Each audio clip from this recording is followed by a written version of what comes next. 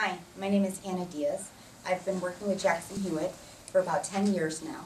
I am the office manager and ITIN director at our Cermak location at 6510 West Cermak Road. I love taxes and love working with clients to help them get every dollar they deserve.